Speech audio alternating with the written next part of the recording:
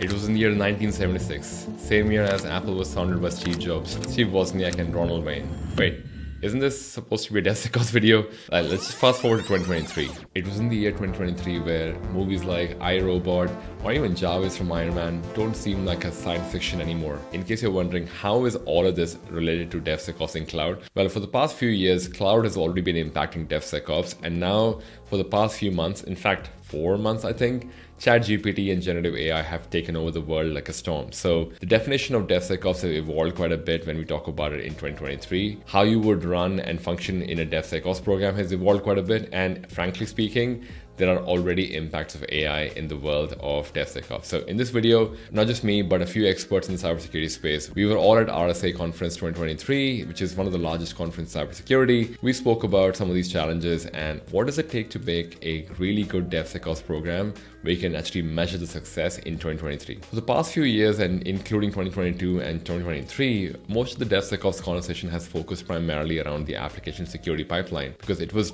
driven by the fact that, hey, we're doing DevOps for applications, so we should find a way to do security in it. So DevSecOps kind of became an application security kind of domain, which kind of made sense if you were living in primarily a data center world. But now, for the past few years, we've been talking about building applications in cloud, now especially with COVID accelerating the digital transformation projects, a lot more application are built as microservices in the cloud infrastructure, which means a lot of the DevSecOps or a lot of integration of security in pipeline is also revolving on how do you do security in infrastructure as code? How do you do security in building applications where you may not have access to the application infrastructure at all to begin with? And of course, the infamous shared responsibility model where the cloud service provider has some responsibility and you, the person responsible for creating and managing the application, has a responsibility. There's a bit of a gray area in between, but let's look at how people look at cloud. So the cloud is basically means I don't have to do all the infrastructure stuff anymore or I, at guess that's what I thought at first.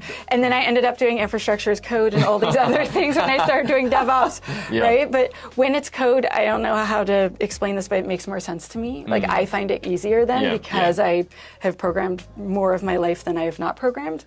And so in the cloud, you can do infrastructure as code. You can do it on-prem, but it, it, it kind of it doesn't go very well most of the time. The cloud is essentially I don't bother anymore as an organization about the infrastructure level. Yeah. So I the hyperscaler is taking care of that, and they are also taking care of the security in that aspect, right? Yeah. So for me as an organization, that means I need to focus on the application security side of the house. I it helps me on the one hand side because I can sort of trust uh, that the hyperscaler gets his stuff with the infrastructure right, and so I can focus more energy on the application application security. And that is the change in, in mindset and also toolset for the DevSecOps program then. I think cloud adoption has really pushed the need for DevSecOps or to integrate into the DevOps pipeline because you can get software written and produced and published so quickly now. Yeah. With all the tooling that's out there and all of the microservices and open source and CI pipelines and constant deployment and just the ability to get a service online quickly. For the DevSecOps program, that means it needs to not slow down the, the gain in speed that I got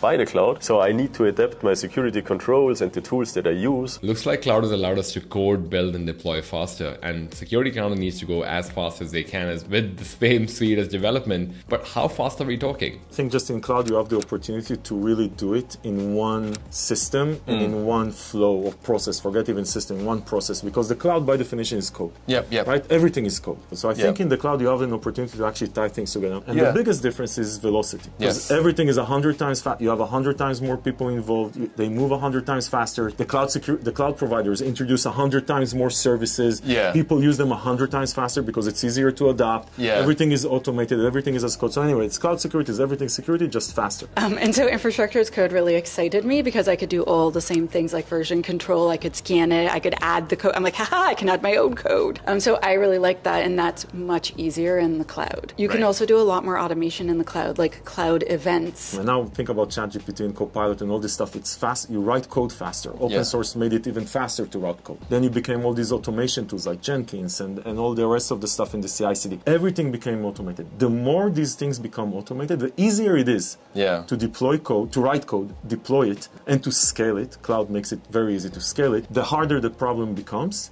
and the more you need it. So I think the need today is a hundred times than it was three years ago because security was not born to be automated. That right now everything is going towards automation. Now that we understand how DevSecOps looks like in 2023, let's redefine what DevSecOps in 2023 should be called. DevSecOps framework in 2023 would be about utilizing the capabilities provided by your cloud service provider like infrastructure as code, speed to deployment, and automation to allow for you to deploy security in your application pipeline infrastructure pipeline using cloud native capabilities and where possible maybe some AI as well. And using all of these capabilities means that you would be able to deploy faster while still being able to do security the same rate as well. Let's not forget feedback, which is probably the most important thing we can talk about from a DevSecOps perspective because it's one thing to understand what DevSecOps framework is, but another to build one. Now that we have redefined and updated the definition for what DevSecOps in 2023 looks like in the cloud, let's also talk about how would you go about building a DevSecOps program. Bring your DevOps person into a room, Yep. a developer lead into a room, and say, guys,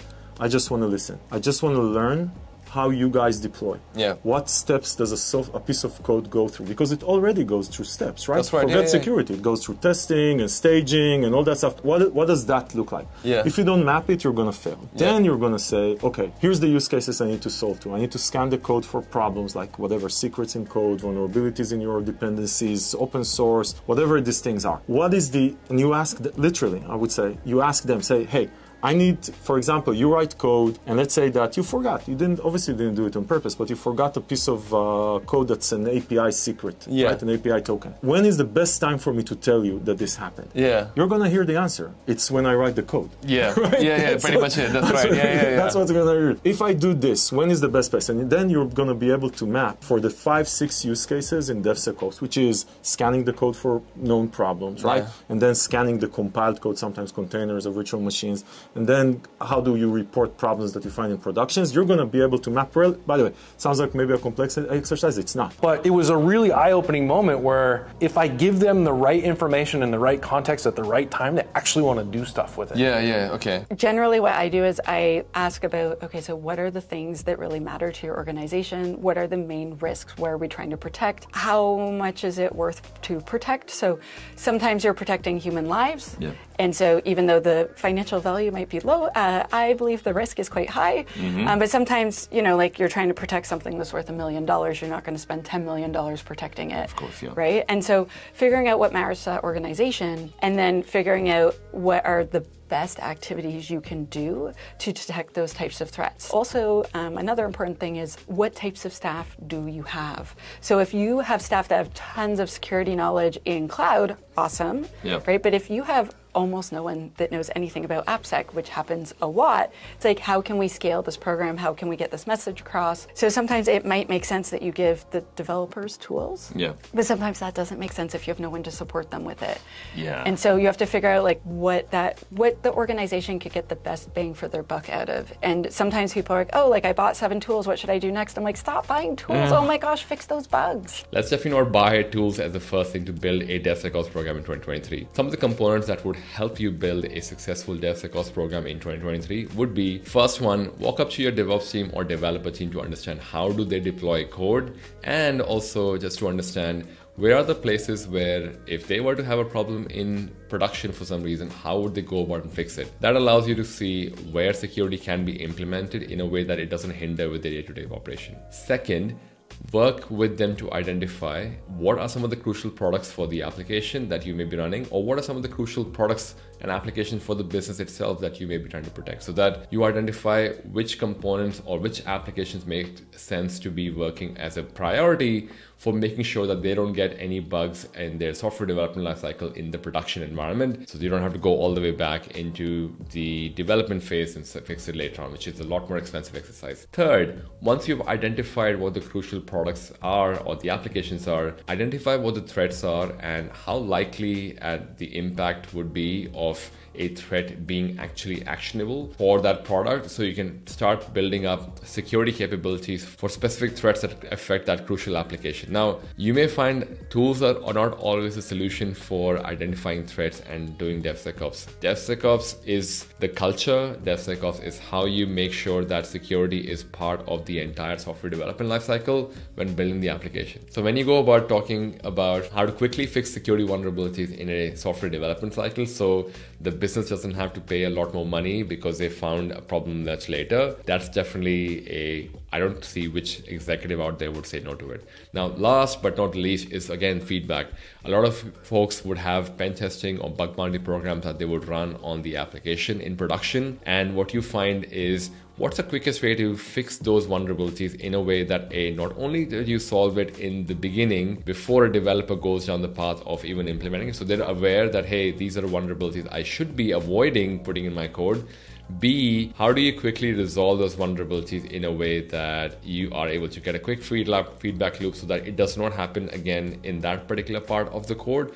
But also, if you're able to search across your entire code base for where else is this found and how can I quickly remove it as well. So, those feedback elements are definitely quite crucial for you to build a successful DevSecOps program. Let me know in the comment below if you agree with how we are building a DevSecOps program in 2023, or would you add something or would you remove something? At this point in time, I'm compelled to tell you a ChatGPT joke about developers and DevSecOps because that's what my script is saying. So I'm gonna have two jokes on the screen. The one that I like the most is this one. Why didn't the developer propose to DevSecOps? Because every time they got down on one knee, DevSecOps said, before we take the next step, let's review your vulnerability assessment.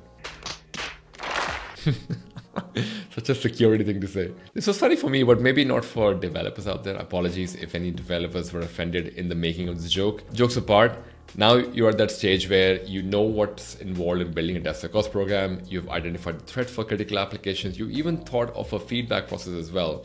But how do you know if it's successful? How do you know the success matrix of the DevSecOps program that you're running? Let me know in the comment below what your answer is. I guess you know mine. Yeah. The successful one is that you have these five, six points in the SDLC in the development lifecycle that you have tools deployed. Tested, yeah, right? yeah, yeah, what, what, happens when they write a piece of code and they yeah. do a unit test and it fails? They fix it. That's right. They don't feel bad about it. If you build your security tools to fit the same lifecycle, that's the ideal DevSecOps, that people say, I didn't add another tool, it just added another type of test. So you are giving feedback as quickly as you can to developers and you're receiving feedback and you're listening to it and paying attention. I hope you were paying attention because I could not explain feedback any better myself. I must add that now since you know what the definition of DevSecOps in cloud is, what makes a successful DevSecOps program, there are certainly going to be challenges that you would face when implementing and managing DevSecOps program in your organization, which I may not be able to cover in this short video because I don't have all the answers, but thankfully we have ChatGPT for all the answers. I think generative AI is amazing and super powerful, and I have no doubt it will, you know, greatly impact all worlds, including software, including, and it's sort of starting to show that. So it's tough. I think